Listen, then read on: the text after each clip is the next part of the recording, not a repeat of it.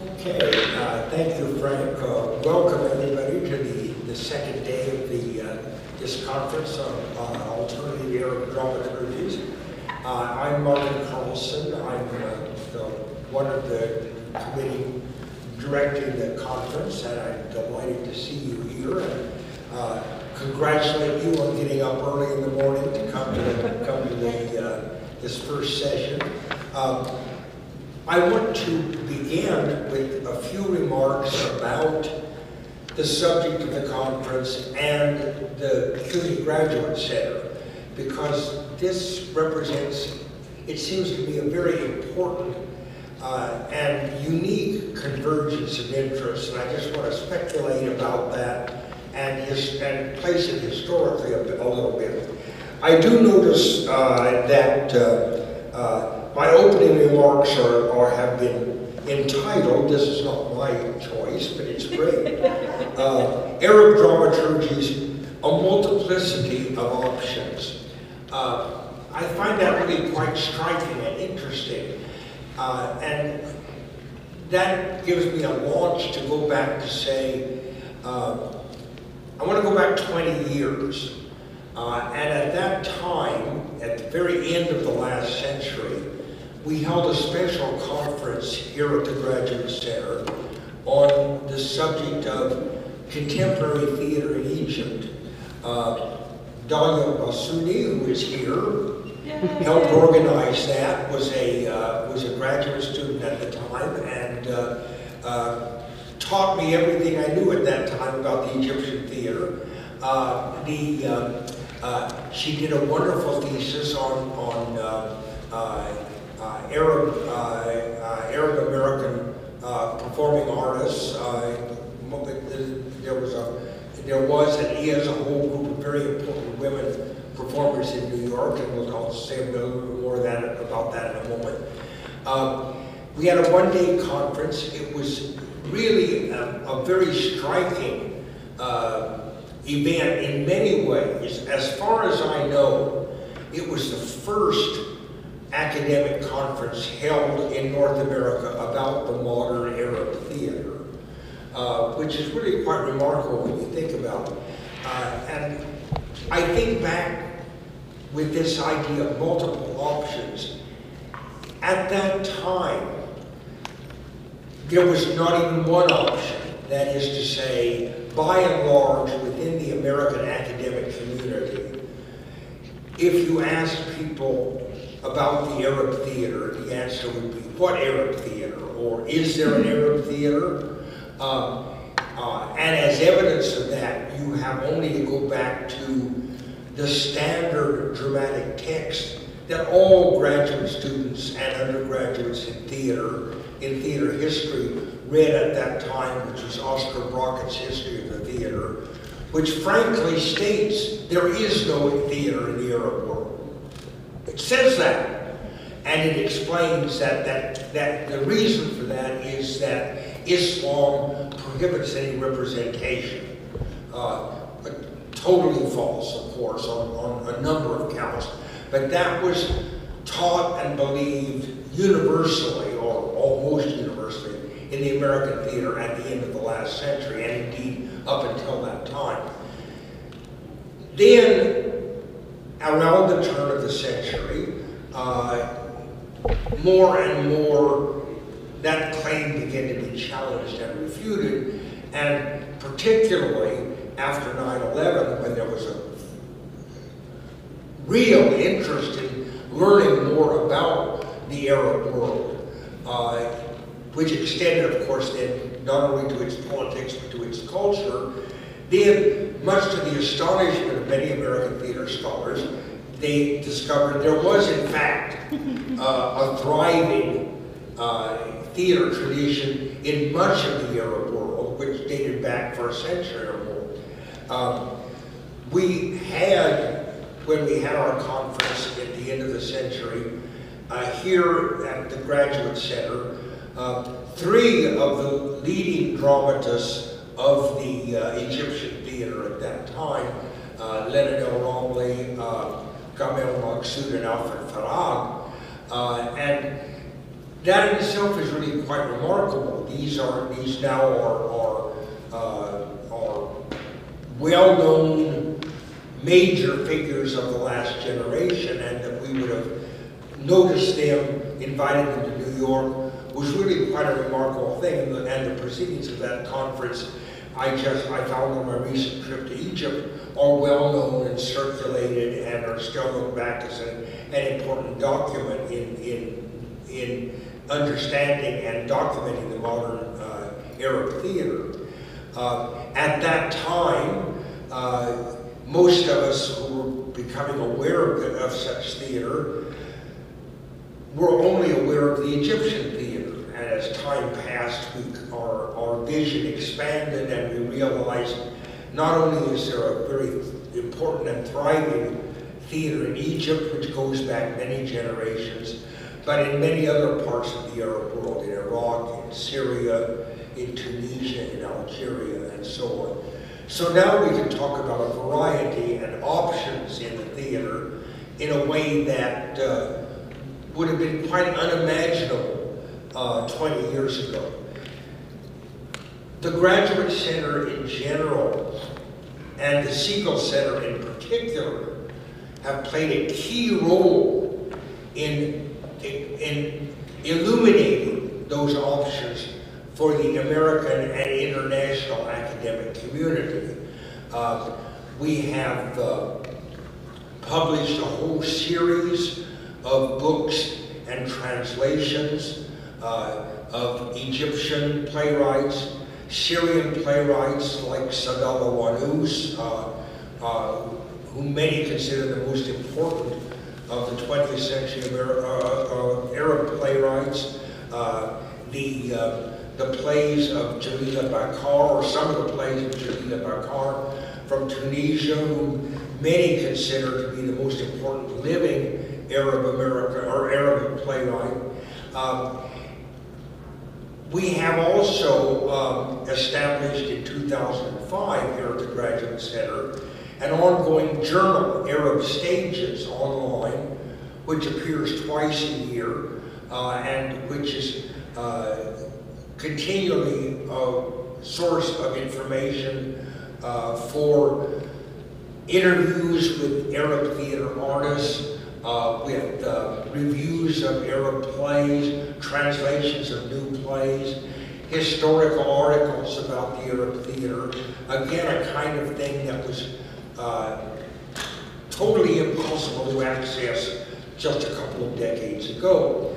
Um, now, all of that, which provides many, many options that were not available very recently in the past in terms of study and interest, I, I have to mention another very major part of, of, uh, uh, of the interest of, uh, of CUNY and the development of, of this work here, and that is the diasporic Arab community. Um, very important from the very beginning of, as, as CUNY and the Segal Center have been involved with making more available to the New York public the work of Arab theater artists has been the enormously important contribution of Arab American uh, theater artists. Uh, again, I, I must give enormous credit to Dahlia, who did extremely important pioneering work in, in uh, Arab American women uh, performance artists who really were uh, the, the, the, the grounding of uh, modern Amer Arab American theatrical work in New York. Uh, this is, uh, this is a, a very important contemporary movement. Uh, a number of these artists have spoken at the Graduate Center. Uh, a number of them have performed in the Segal Center. Uh, and uh, in Arab stages, we are also uh, very strongly interested, not just in theater in the Arab world, but in the increasingly important diasporic theater, because of course today, with the huge refugee uh, population, uh, which includes obviously theater artists. There are very important diasporic Arab theaters in places like Spain, in Sweden, in Denmark, in France, in Germany, in the United Kingdom, uh, and all of this provides yet other options in this enormously complex uh, world of different dramaturgies presently developing. Among the Arab American performing artists, certainly one of the most important and one of the first really to, to achieve major distinction on the New York stage, uh, I'm happy to say is with us today, Betty Shamieh. Uh, and it's my very great pleasure to introduce Betty to you. Many of you know her already or know her work.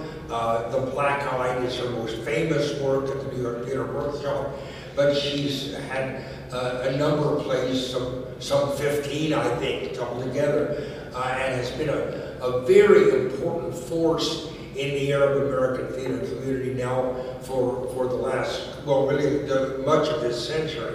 So uh, I'll turn this over to Betty now. She will uh, address you for a bit, and then afterward, perhaps we'll have time to, to talk about this. Thank you.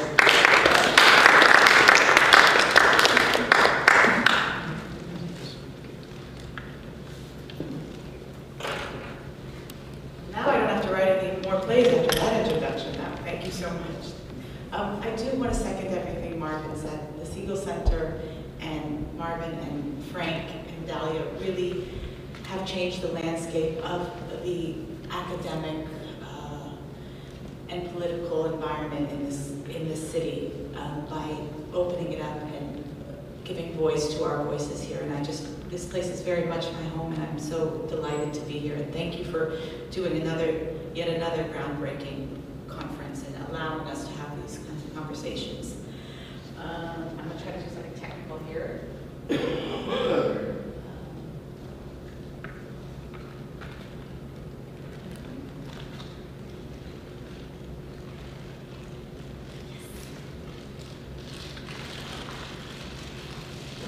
There are two things that I absolutely know are true. And that theater makers, and when I say theater makers, I mean audiences and artists because you need both to have theater. Theater makers hunger for stories because we are so in love with life, we are not content to simply live our own. We want to know and experience more than we can by staying within our own skin. Theater makers are our own tribe. As a playwright, I have more in common with a playwright from any other culture than a person who does not care for stories from my ethnic background. This I know is true. But it's also true that culture is not created in a vacuum. I am a Palestinian American playwright creating images of Arabs on American stages in a time of war. And one way you can make people complacent about war is by making them feel conflicted and confused about the reasons why you are fighting that war. Now, I was in New York on 9-11. It was a place of mourning, confusion, horror, sadness, and anger.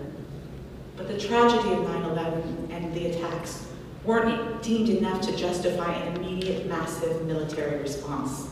Not right away, and not by enough of the right people. The image of the good Arab or Muslim, victims who needed saving from their own leadership, became part of the government discourse as well. And most strikingly, this took the form of Laura Bush taking the extraordinary step of being the first First Lady to take over President's Weekly radio address to talk about the Taliban's brutal policies towards women in 2001. And instead of, of writing art and theater created in opposition to such pro-war propaganda, we got a spate of plays, the vast majority of images of Arabs in American theater, all presenting narratives that highlighted the human rights abuses under Saddam Hussein and the Taliban. Plays that could have easily been set in Saudi Arabia, an ally of America, an act that would have punctured through arguments like Laura Bush and revealed the hypocrisy inherent in them, but they were not. These stories of victims that clearly needed saving were set in countries we happened to be invading. And when human and women's rights are evoked as a justification for war, government officials are using the language of the left to cripple the ability of the people on the left to mobilize those in the middle. Now, in the case of the Vietnam War, the lefty artists weren't fooled. They didn't fill American stages with images of horrors of living under Viet Cong and communism. Unlike the theater artists of today, they resisted rather than reinforced the governmental narrative that was calling for war. And when I think about my contemporary theater writers of my generation, some who claim the identity of being leftist and some who claim the identity of being Arab American, I wonder if they are willfully ignorant or simply not up to the task of grasping the concept of Orientalism. The idea that creating distorted images of the Middle East serves as implicit justification that are linked to colonial and imperial ambitions. And what might theater that counters or even seriously question the war of terror looks like? Great theater is not about teaching people about what they do not know, but rather it is about awakening within them truths that they already do. The most potent political theater today would not look like what we call political theater at all. Instead of modeling stories that confine Arab or Muslim characters to either victims or perpetrators of unimaginably horrific violence, depending on the political bent of the writers, truly revolutionary theater, in my opinion, shows a reality that is harder to face. That even in the worst of times, the vast majority of Arabs and Muslims are simply ordinary human beings. They work, have their hearts broken, dream of owning a slightly bigger house than they can afford, get aggravated by their family members, and struggle valiantly to be admired by those they admire. In short, their lives, deaths, hopes, fears, and fantasies are not that different from the majority of Americans and Europeans. And when you combine stories on the stage about Arabs and um, Muslims to revolving exclusively around violence, it relegates the sum of the importance of a billion people to how they might or might not be affected by us. So what would it mean if there were more theater stories that sensitized audiences to the fact that despite the myriad of superficially variant ways that human cultures have blossomed across the globe for millennia, there is a human essence that unites us and it's utterly recognizable. In a world that is divided into nations that wage war on each other, it is theater's ability to humanize that makes it so politically potent. No one needs reminding that as some people who possess all the nuanced human complexity and capacity for feeling that we do have fewer rights, it is always connected to the fact that others have vastly more resources. And we who are complacent with that imbalance of power and resources mostly stay that way And when I say we, I mean we. Because, not because we're ignorant, but because we know that the imbalance falls in our favor. And that political idea is the simplest to grasp and the hardest to swallow. It's much easier to tell ourselves stories that reinforce and solidify our conception about our differences through the medium of theater. Though the medium of theater at its best is designed to reveal how much we all remain inescapably the same. So when I first came to New York, I wanted to create theater that was actually anti-ethnic theater. My first show was called Chocolate in Heat, and I subtitled it Growing Up Arab in America. And I proceeded to give you a show that had Arabs in it, but had nothing, it was about love and sex and uh, sexual violence, all within the context of having Arab characters, but their identity was never discussed. So I presented a show that was supposedly about Arabs and gave people a show that was just about people and asked them to make their own conclusions about what the political point I was trying to make. That was three weeks before 9-11. Um, that the show sold out at the Fringe Festival. We did really well. People were into the idea of like kind of exploding the idea of what an ethnic show that would be subtitled Growing Up Arab in America would look like, what its themes were. I wanted to just humanize. And that's what I have in my, these are my shows in America, um, really tried to do with my work. Just really try to, to not show victims or perpetrators of violence because I think that that is, for me, the most politically important point I could make. So I um, uh, going to end now and we'll be talking talk tomorrow a little bit. Um, and I just want to thank you all for being here.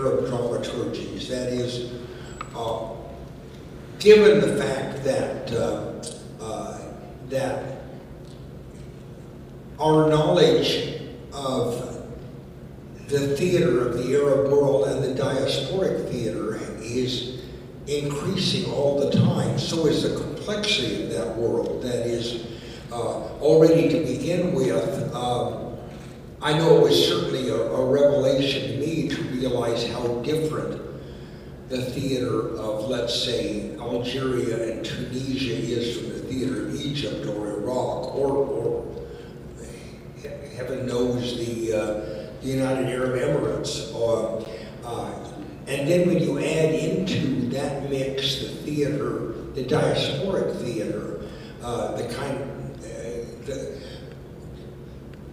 on one hand, the kind of theater that uh, that Betty Shamieh and and a number of her uh, her fellow artists have been creating in New York, and the very different sort of theater that's being now created by refugee Arab groups in, in, in Paris and elsewhere. The, the range of dramaturgies that one might consider is almost overwhelming. And let me just sort of throw that out as, as, as, a, uh, as a phenomenon and just ask uh, members of the uh, members of the panel to make whatever observations they would like to make about uh, understanding or relating to uh, this, this now multiplicity of, of dramaturgical options that the quote Arab theater now represents for us or offers to us. Okay? Are we on? Okay. Um, I, uh, four, three, four years ago, I was uh, on the jury of the National Theatre Festival and uh, another amateur festival called the Saqiyat al-Sawi Theatre Festival. And it was fascinating for me to count how many international plays in the Egyptian National Theatre Festival. There were 43 plays, there were five Macbeth and four Hamlet.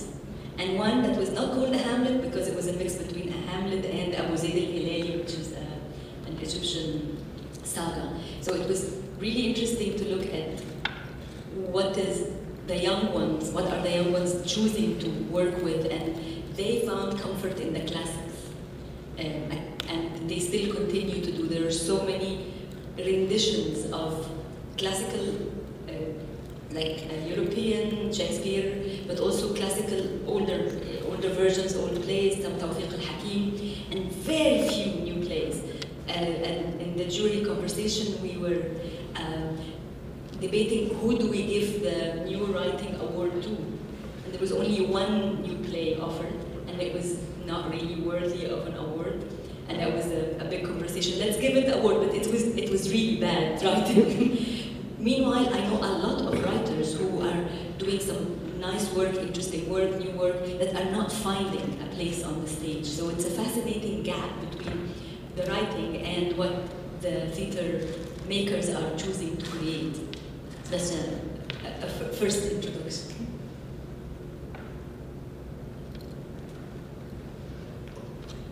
On, hi, good morning.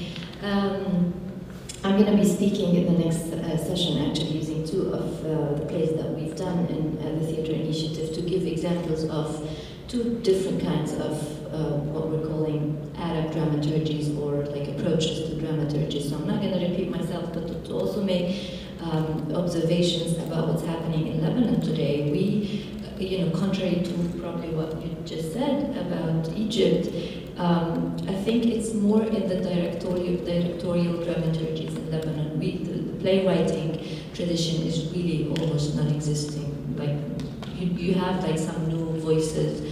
I would name Arzé Khodr, Maya Zbib, you know.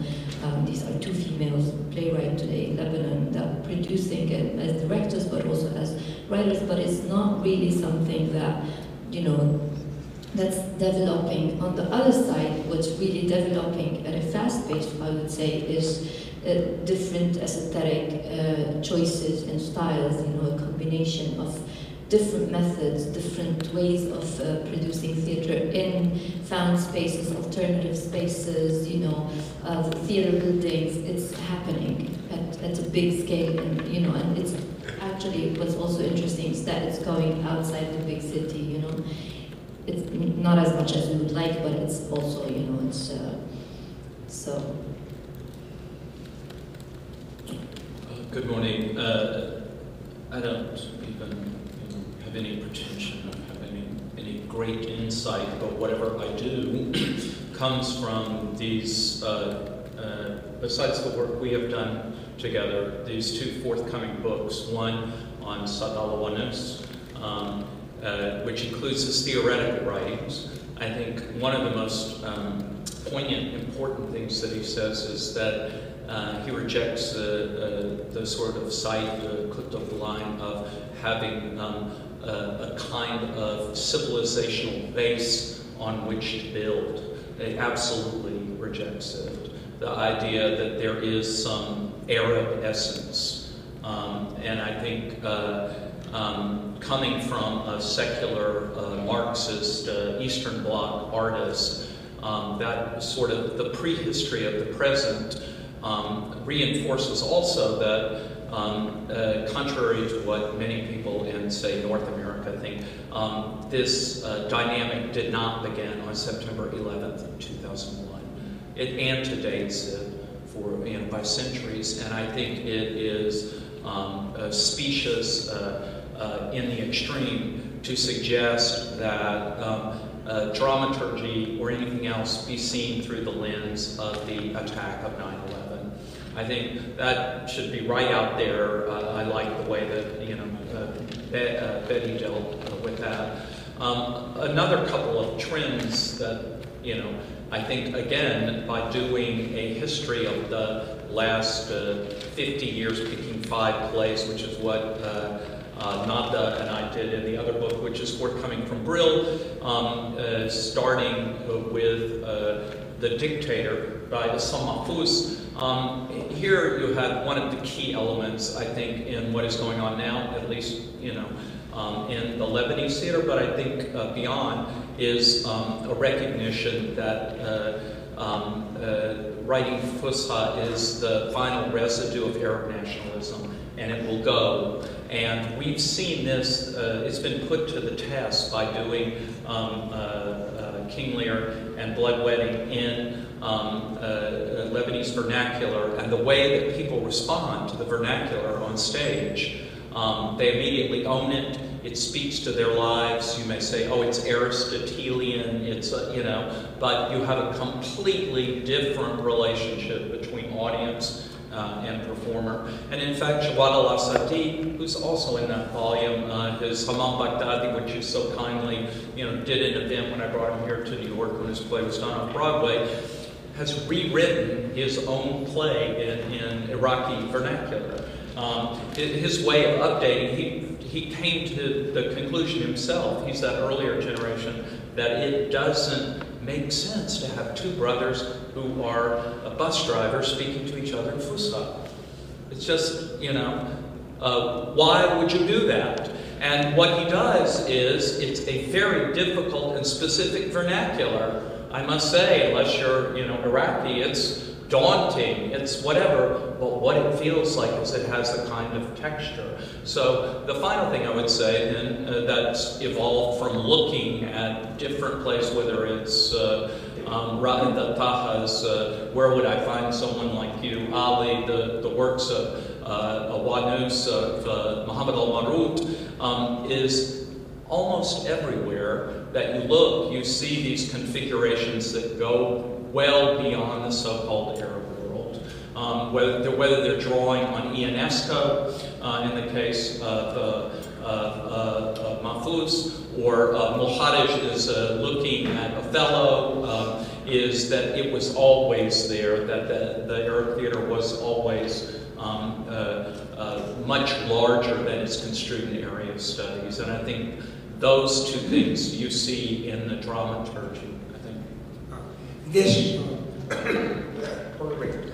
uh, this uh, tension that Robert is, speaks of uh, between the vernacular and, and the patois, or the, the, the, uh, uh, the classic form, is really and has been for, for decades a central concern in the Arab theater. It doesn't really have a correspondence in the in the diasporic theater, although I think there is a, a similar kind of tension. I'd like to ask Betty to comment on this between the first thing that Robert spoke about, and that is uh, uh, the Arab essence, or what is it to be Arab? Uh, and it seems to me that uh, that right at the heart of, uh, of the challenge to America Arab American performer is that question. Betty spoke about uh, the, the, the, the, the desire and, and the obligation to let people know that Arabs are human beings. They're, they're, they're, they, have a, uh, they have an existence uh, which is like everybody else's. And I'd like to ask Betty to, to elaborate a little bit more on the tension between being an Arab American uh, performer and an American performer. Well, is this on?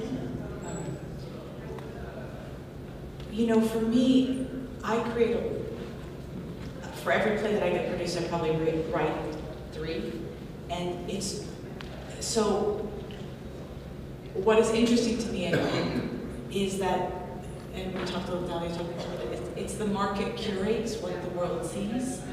And so I, but I make a very conscious effort to localize and humanize my stories. And by that I mean taking out violence as the core part of the identity of Arabs or Arabness or Arab uh, essence. Because I feel like what happens, so I'm in a very strange place because I know that if I was in Palestine, the kind of work I would create would have a lot more to do with women's rights and a lot of the things that I think need to change which within the dialogue of Arab culture.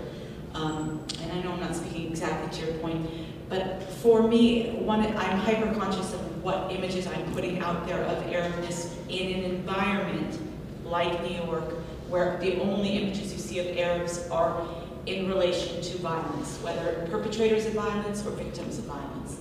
And I and I'm you know, and so what I consciously try to do is just show the humanity and, and delete that kind of, you know, uh, duality of you're only important and only on an American stage if, if you're reinforcing how you relate to us, which is either as our victim or as our aggressor. So, you know, I, I live right in between two worlds. I grew up speaking Arabic as my first language, and I lost it when I went to school. And so I'm a Palestinian um, in America, but I'm American in Palestine. And so I have a very clear sense of how much these kinds of concepts make no sense because They don't. And so, uh, Okay. that's good, yes. Yeah. Um, I, let, me- let me open the uh, discussion up to the audience. Uh, I, we'd be happy to hear any thoughts or questions you have to any of us. Uh, Frank, will you sort of take charge of this? Any comment? Yes. And I think the microphones are working. Thank you, good morning, thank you very much for all these ideas.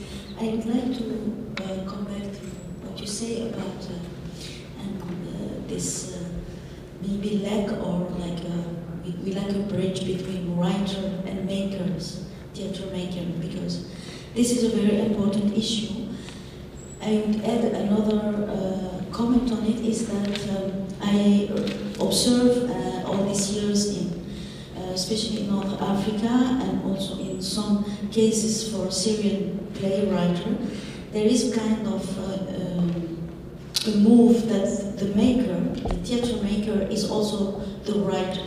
So there is a, a what we call in French lecture, uh, écriture scénique. So it's on stage, it's happening during the process. And many of those uh, artists are making theater from their own materials and their like references from the socio-political situation and so on. And I, uh, you have uh, uh, Mohammed Al-Abbal, you have Leila Suleiman in Egypt, and uh, Wael Ali with Christelle Khodr in Beirut, um, Mustafa Ben uh, in Algeria. So you have many of them. Driss Ksikes in Morocco, working with uh, what we call Daba Theater, so the theater of today. So there is also another way of uh, giving theater to the, like in the, in the process, in the timing. It's uh, like more uh, faster than before with uh, all this taking play, translating, thinking it, it would be better in dialect or in Fusha. So there is kind of uh, need of uh, re- reacting and bringing their artistic universe back to the audience and the community. So that's what I want to, to say. Maybe we have to think of this new um, status position and bridging maybe those. I, I have a presentation this afternoon all about the immediate theatre that happened or that continues to happen. So I didn't um, want to start now because I'm going to have like 15 minutes, only 15 minutes for that. um, but I, I myself, I am a theatre maker. I write my own work and I direct it, and I haven't released any of my plays to anybody else to work with them yet. Um, and there's a lot of current work that's trying to respond by by that, using that module um, and the documentary theatre and verbatim theatre and different modules of theatre of, of the oppressed. So um, it, it's an important module, but I was like taking a step back and looking at why would young Egyptian writers um, return to classics and or stick to Hamlet or Macbeth year after year, not not once. So it's just an interesting uh, choice for maybe safety or distance or other political situation. Uh.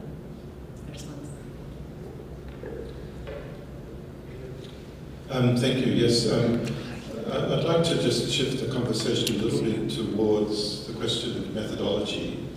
Um, this is an opportunity to speak to the editorial board of the Arab Stages, and um, so the, question's a very open-ended one, but I'm, I'm following up on Marvin's introductory remarks about the idea of multiplicity, um, because you know the Arab Stages is a, is a remarkable and unique journal in that it proposes a, a certain kind of epistemology.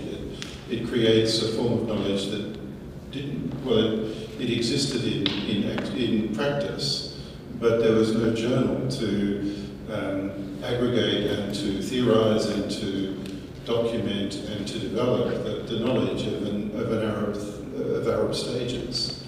Um, it's a slightly speculative question. If, if you had um, endless resources and, and endless time to think, what would an Arabic epistemology of theatre look like in a journal? What would it, because certainly we have essays and we have uh, reviews and uh, a certain kind of methodology, but you know, I'm thinking about the need to also, um, uh, in, a, in a sense, replicate certain kinds of Western logocentric knowledge that exist within an academy, i.e. a referee journal, but also to think about how we might um, uh, develop or expand on or, or different forms of knowledge in the journal as well that are, that are perhaps more situated within the local culture and local community. So you could think about what does an Arabic modernity look like? What does an Arabic intellectual community look like? How is that reflected in uh, an academic journal of this kind?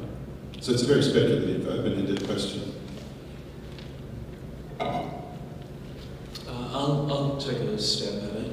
Uh, one thing that might, uh, it's an incredible resource. I'm, you know, just enormously, uh, enormously grateful for it. I, you know, look at it closely. I read what's in it. Um, I think uh, one thing that's informing our practice, which um, you know, it's not connected uh, necessarily in a direct way, is um, the scholarship of people like Marvin, like uh, Ilham Khuri-Makdisi, like Karim Makdisi, that engages in this reconfiguration, um, uh, historicizing, um, through the case of uh, Ibn Daniyal and uh, Ibn Daniyal uh, being connected to Aristophanes. Um, uh, Ilham Khuri-Makdisi looking at radicalism in the Eastern Mediterranean. I was talking to Maximilian yesterday about the relationship between Greece uh, and the Levant in general. Um, this is something that's looked at there. This is exactly what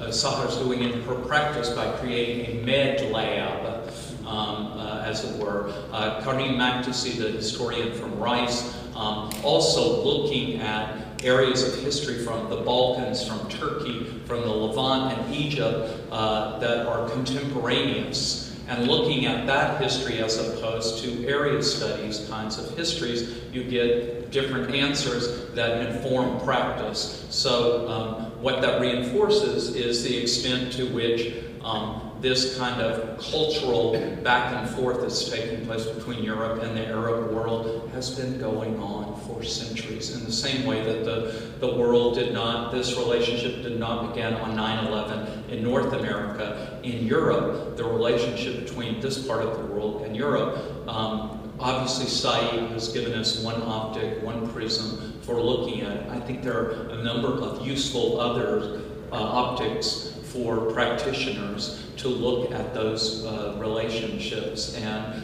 um, the extent to which that's integrated. Um, and it's not simply a report on current practice, right? What is informing the practice? And obviously it can be social media, obviously it can be technology, um, you know, uh, it can be a range of things, but uh, perhaps because I'm first and foremost a cultural historian, um, I think that uh, it has a way of of uh, informing our worldview.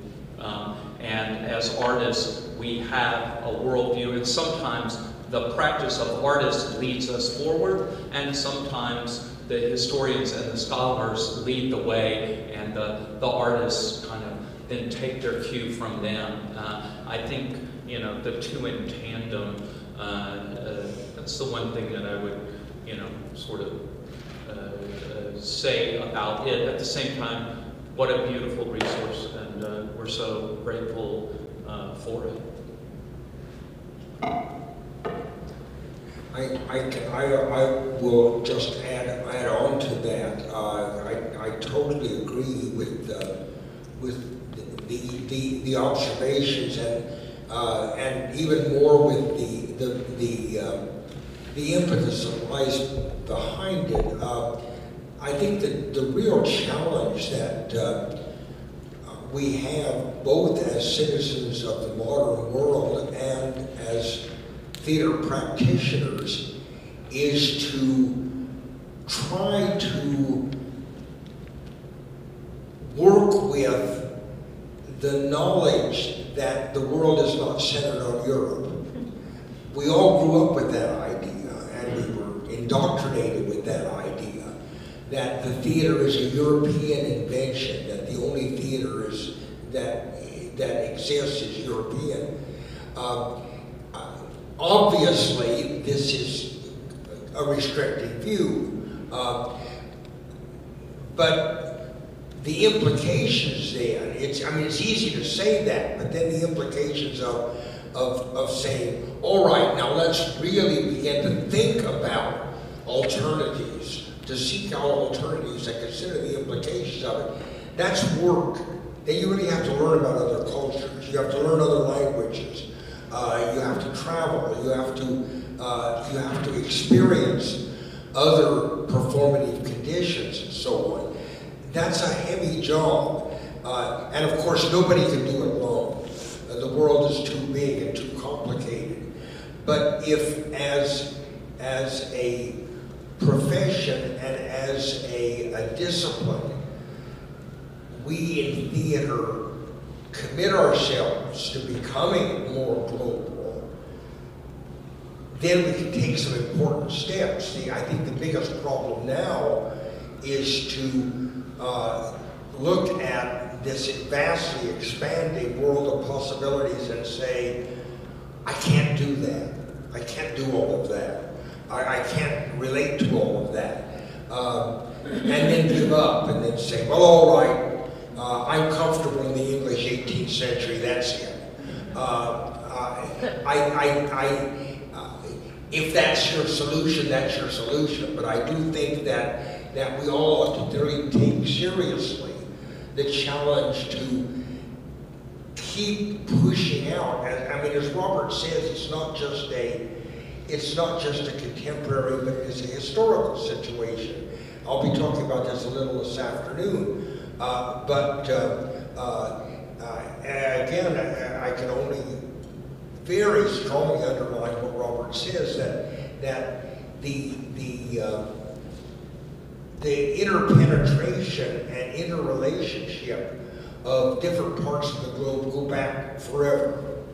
Uh, and as I begin working on Ibn Daniyal, and this is the 13th century, I find that uh, uh, there's all sorts of networks and connections that have really not been looked at seriously at all. That uh, uh, I, I, am totally convinced, again, I'll say a little bit more about this this afternoon, that Ibn Daniyal was profoundly influenced by the contemporary Byzantine theater, about which, about which very little has been studied. Not that there's not a lot of material there, but it's just who is interested in Byzantine theater. And yet, uh, here is a key bridge between what we think of as the East and West. The whole theatrical uh, world along the Silk Route and, and, and the theatrical and performance traditions that are connected with that, all through what we, what we in the West call the Middle Ages, um, uh, has been very, very little looked at by historians. Uh, and so the, the, uh, the, the challenge is a vast one, but I think that perhaps the most important thing for our generation is to acknowledge that this challenge exists. To say, this is something that must, now, we must turn our attention to it. We can't get away with saying, well, if it's Western Europe, it's okay. Otherwise, the hell with it. This was just a comment about how um, your comments about finding comfort in the vernacular reminded me of Bryan Doerries's, you know, Theater of War. so I guess um, there are a lot of, but that is more in terms of using the Greek classics for veterans combating PTSD. But um, I guess if we want to elaborate on that thought, if, you know, in terms of parallels in the Arab world, you know, I know we don't want to talk about, you know, victims, but, you know, more about um, aspects of, you know, Arab communities that are also affected by PTSD because of, you know, colonization or war.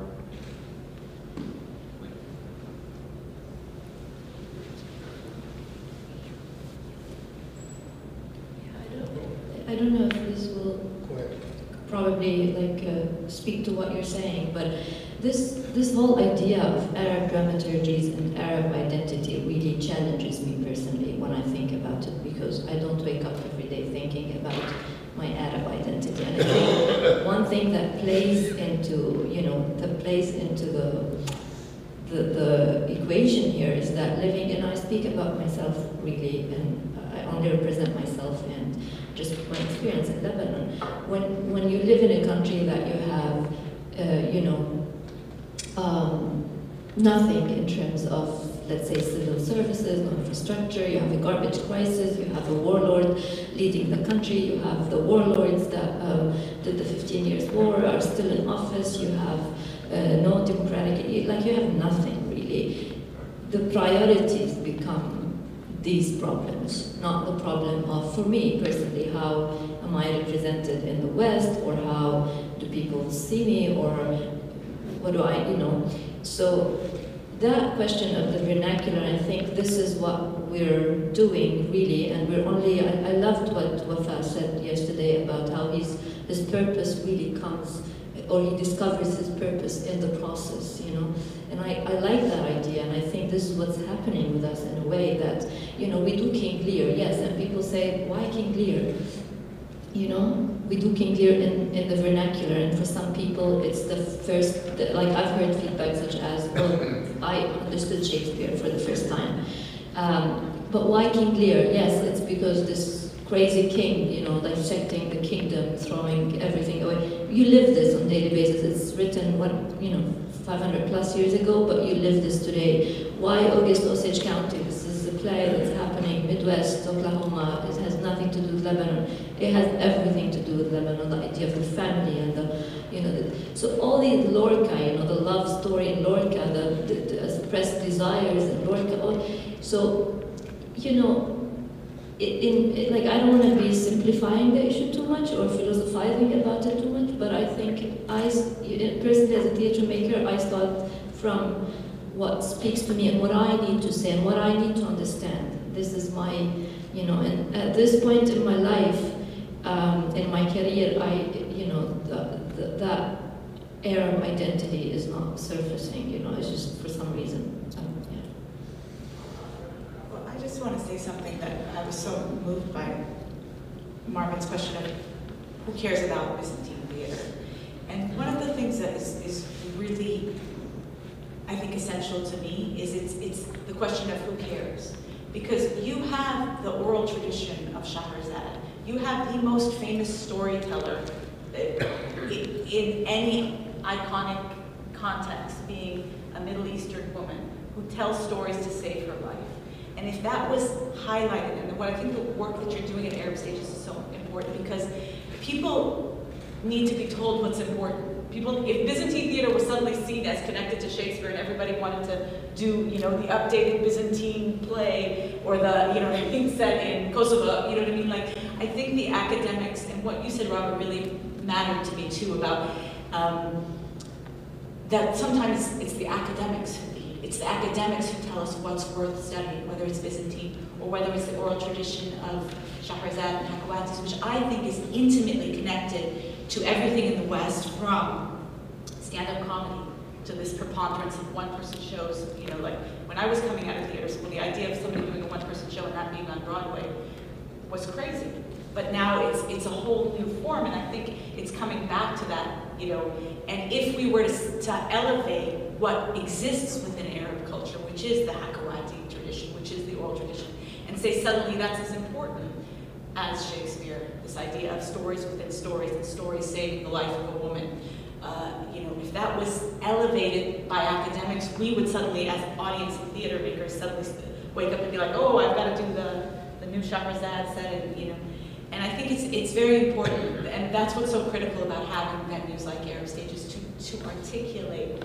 And you know, for me, um, as I said, for every play that I do show, I um, have three plays that aren't produced. So I'm very conscious of what actually gets curated by the economics of being an Arab in this city and in this culture.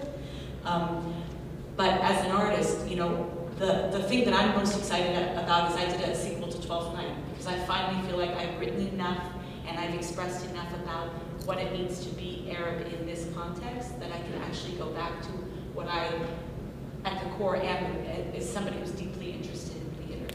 Um, and so thank you, Arab Stages, for give, for leading the way and saying that this is an important thing worth studying, and what we articulate actually influences what artists make. Let me, uh, let me put in a plug for Target Margin Theater, which has committed itself to an ongoing Scheherazade project that started last year. I think they're in the third uh, phase of it now, and it, it's, uh, it's, it's really quite, a, quite an interesting undertaking. Um, and then let me go on to uh, uh, uh, shift around as I like to do and look at things from a different perspective, and that is uh, I'm going to defend Shakespeare uh, in the Arab world. Uh, it, I think it is important to remember two or three things uh, about uh, about European influence and about use of European subjects, King Lear, Twelfth Night, whatever. Uh, like it or not, um, the European influence is enormous. I mean, this is we're living in a post-colonial period. We're aware of this. Um, uh, we might say, "Oh, it's too bad that Europe has dominated the world in such a way," but it has. I mean, it's a historical fact.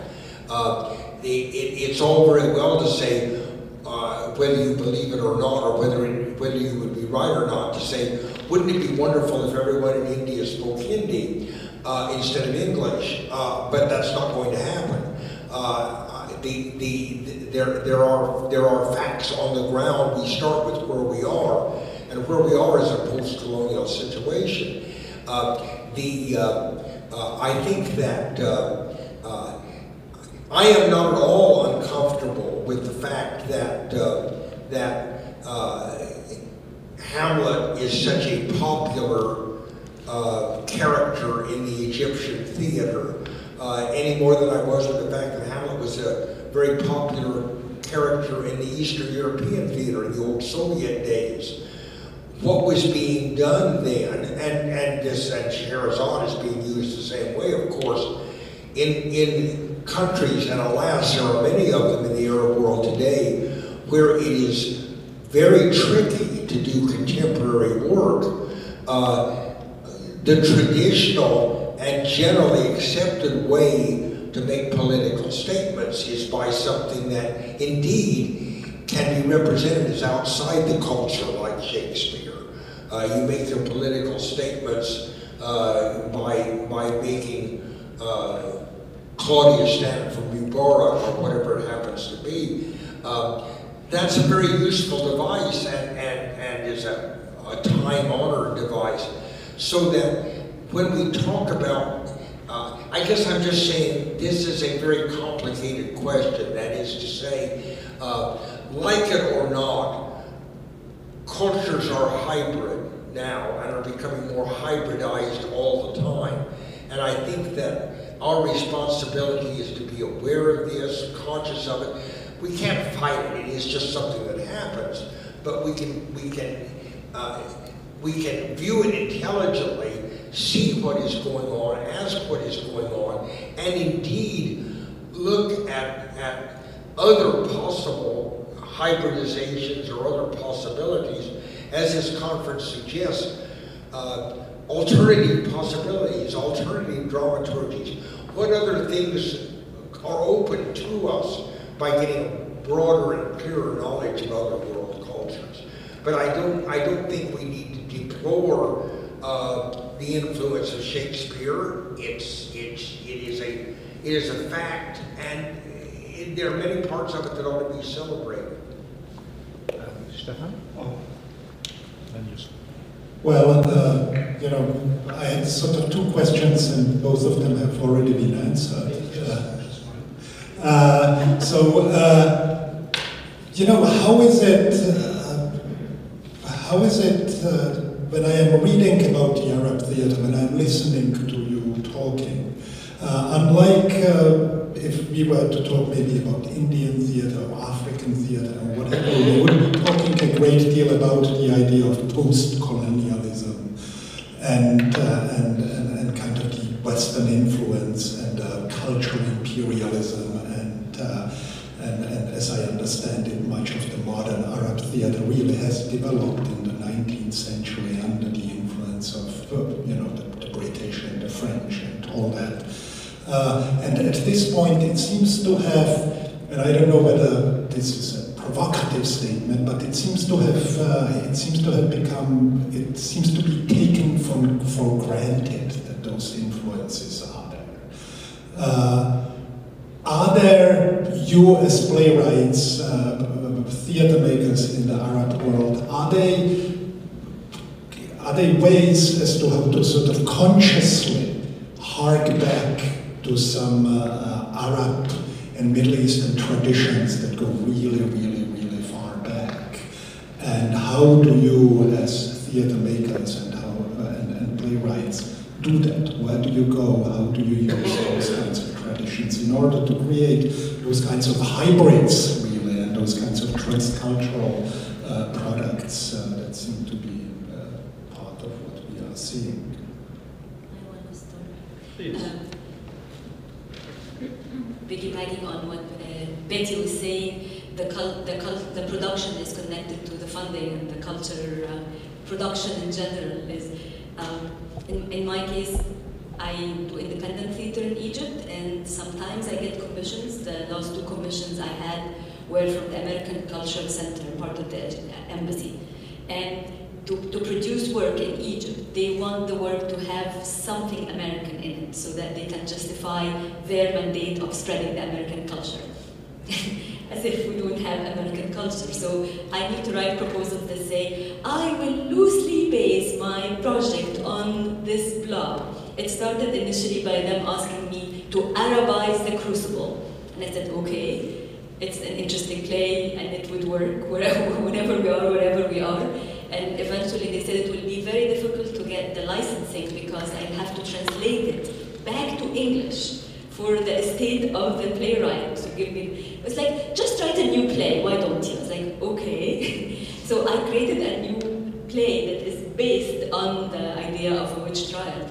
And I wanted to make it my own, so I went back to the culture, the songs that people sing in the fields. I went even further back to Isis and the idea of spreading your wings and flying. And I created a new play that is completely Egyptian and new and steeped in the uh, folk tradition of the songs of the fields and the ancient tradition of the pharaohs but they can legitimize their, fund, their funding or spending it because it is the story. It is, that did not, was not successful in, a, in future productions, unfortunately, of, of, other plays where they um, asked me to do something, yeah, about women, and I said, can I do something like uh, maybe Cuckoo's Nest, but for women?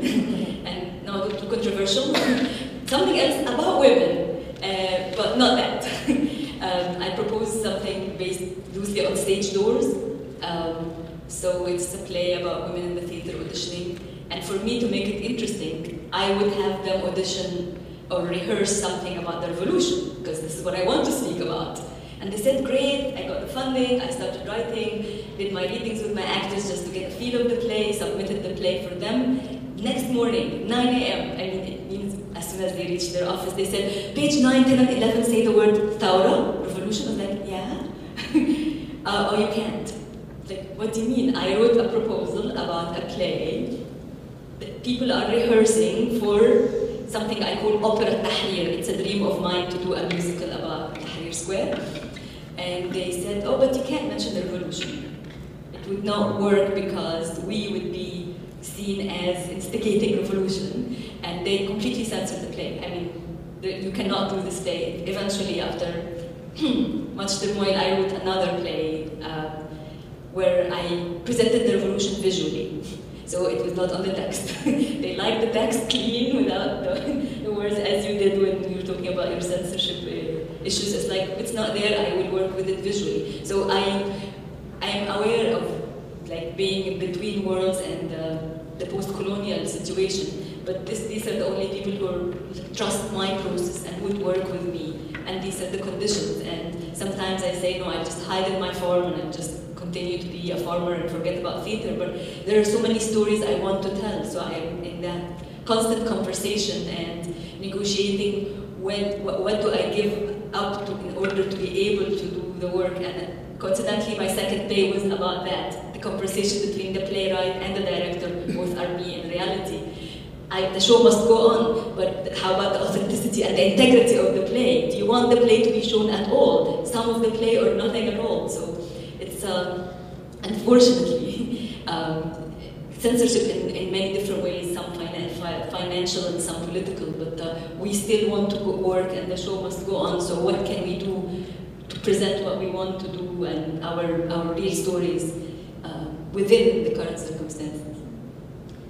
Yeah, I can give an, an example also from a theater practitioner in Lebanon who works with drama therapy, and that would, you know, speak speak about how these traditional, uh, you know, uh, like the, storytelling tradition, for instance, the Arabic storytelling tradition, how it, it is really uh, played within the contemporary theater. And we'll also speak about the, which I totally agree with, the, how we live today in really hybrid cultures, and especially in the theater. The theater culture, I think, is very hybrid.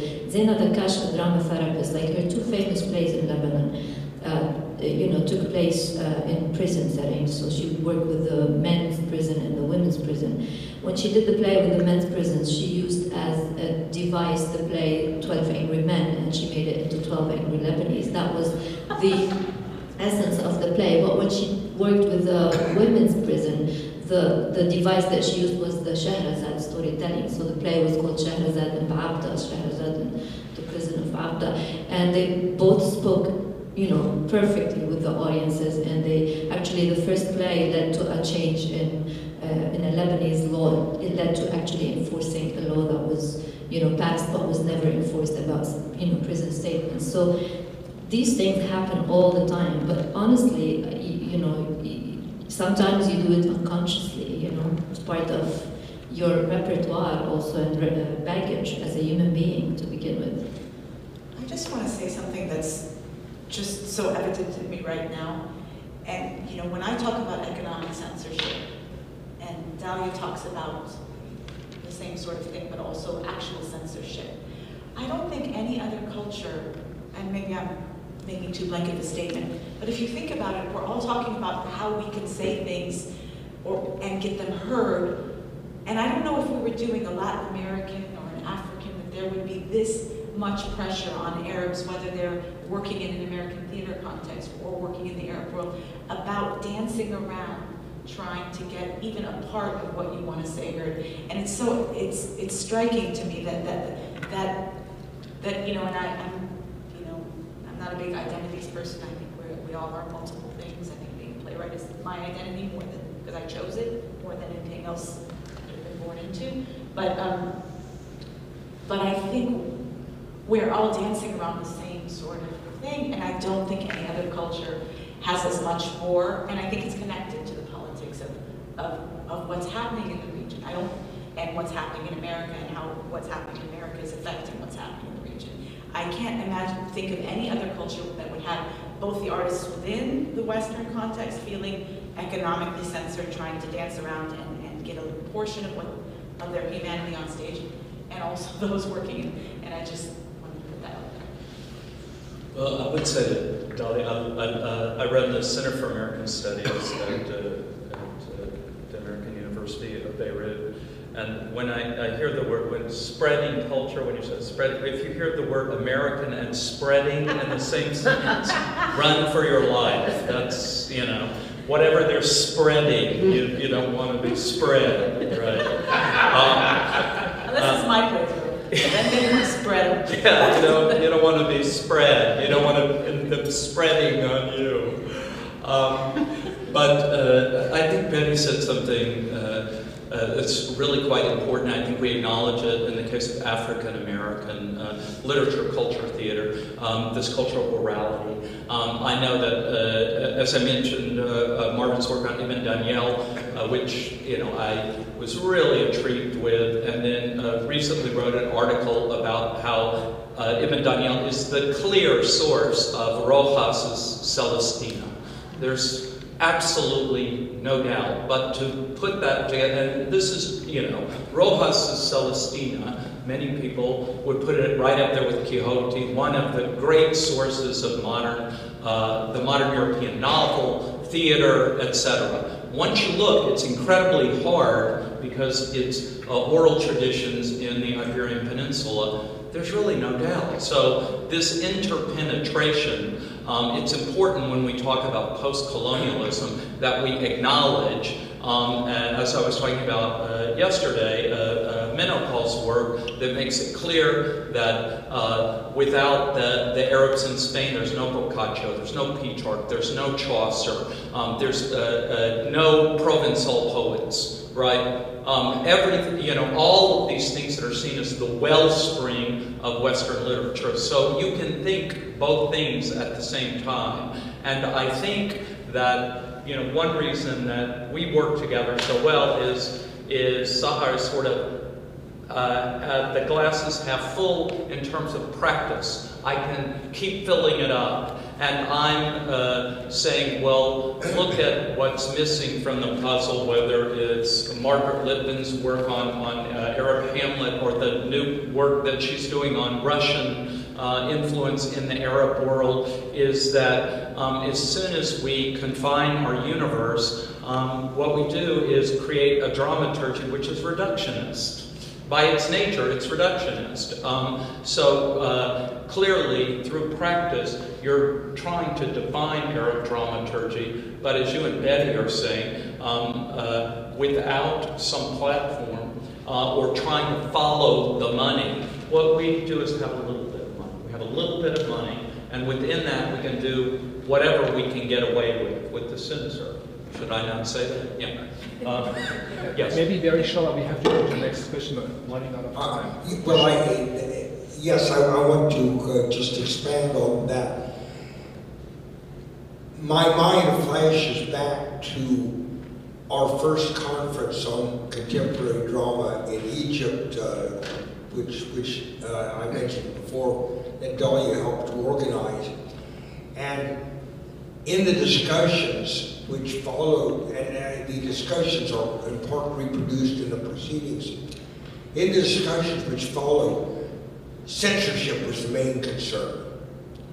And uh, it was, I, I, I'm interested in how little things have changed in a sense. That is to say, we had a representative which I think we don't have today, uh, from the Egyptian Cultural Service in, in, uh, in New York, who stood up and said, there is no censorship in Egypt, which I'm sure is what would be said today.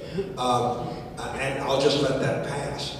Uh, but, but I would say that uh, uh, one of the responses, I think was Lenin El-Ramly's response, maybe not, in any case, was well, there's censorship and censorship. That is, uh, even if there's not state censorship, there's economic censorship, which everybody in the United States must understand. It is, it is naive to say, oh, there is no censorship in the United States. You can do anything you want. Well, obviously you can.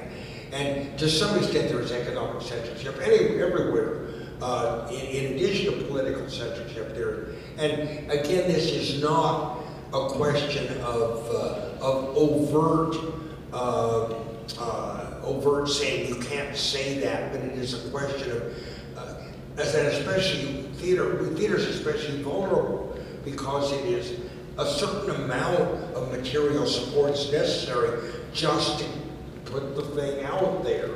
Um, and so uh, uh, I just want to remark that it, it does strike me that, that these concerns, even the terms of these concerns, have not in fact changed a great deal in 20 years. One last question, and then. Yeah, I was curious uh, to um, ask, I'm curious about what I, in, in Lebanon as well, but I know in Egypt there's the popular theater, comedies, and then there's the experimental underground.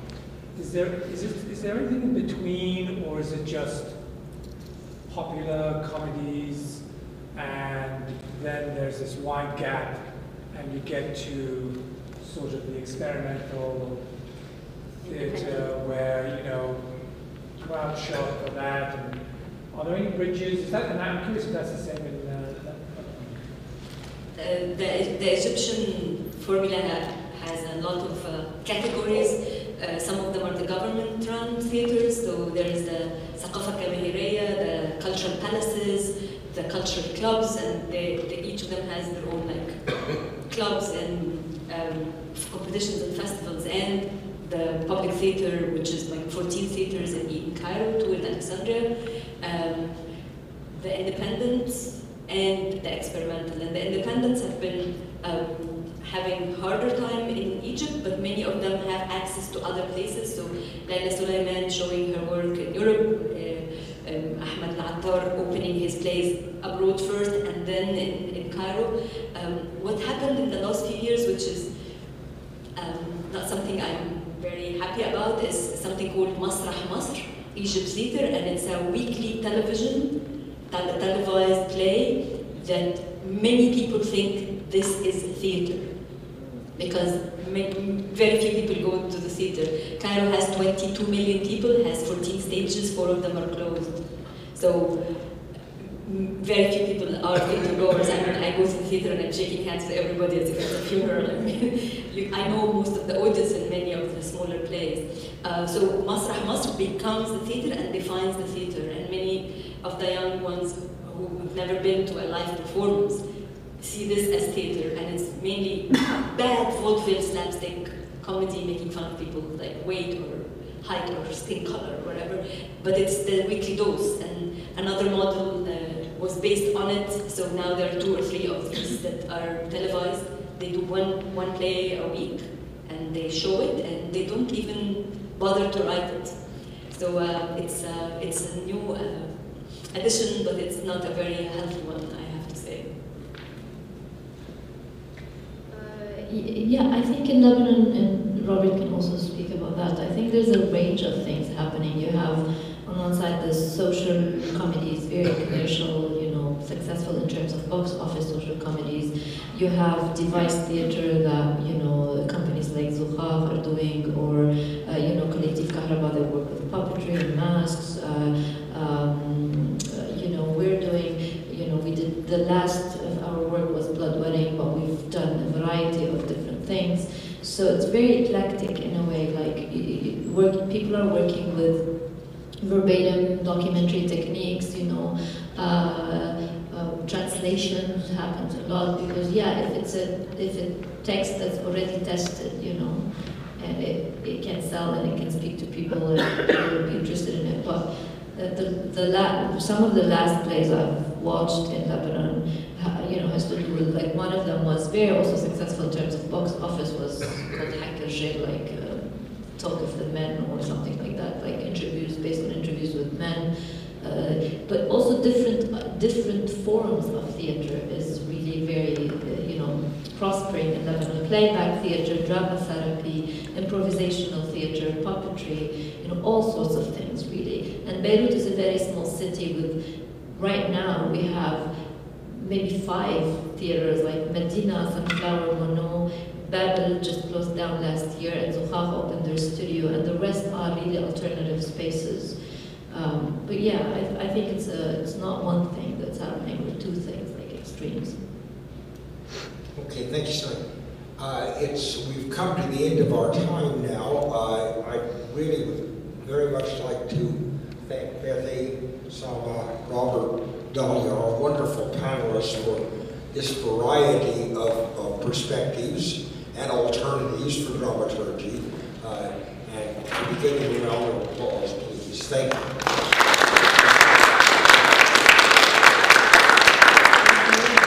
So we have a, a couple of minutes of a break, have a coffee, and uh, shortly after 1.30, uh, we start again. Uh, 11.30, 11.30, we start again, sure. Thank you. Yeah, that's, yeah. Great. Thank you.